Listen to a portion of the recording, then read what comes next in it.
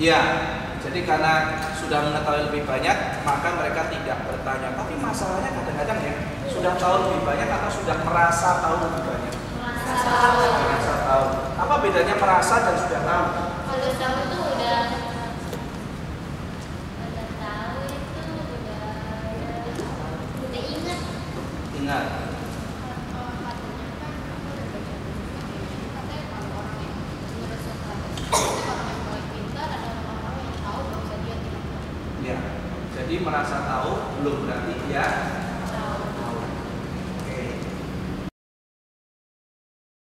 Sekarang buang dunia Sofi. Pikir. Apalagi selain kuriositas yang mendorong orang untuk cari tahu. Hmm?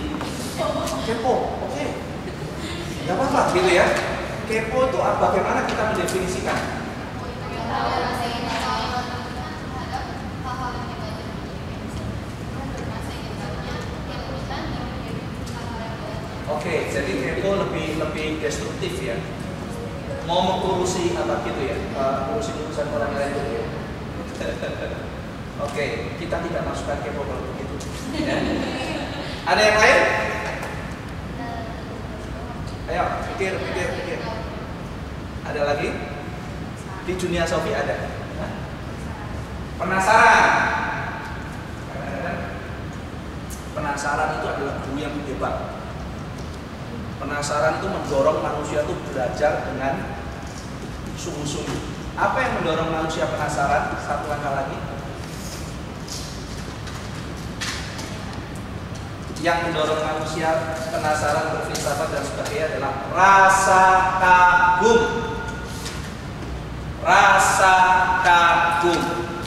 Orang yang sudah kagum penasaran. Orang yang sudah kagum mau cari tahu. Kalau orang tidak kagum, tidak mau senang cari tahu.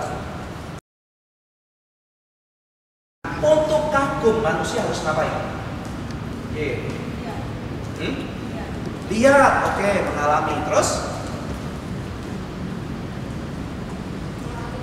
memperhatikan, ya. Terus merasakan. Terus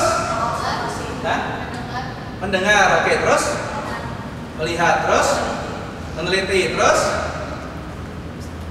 sikap hatinya mesti gimana? Senang, oke. Terus rendah hati.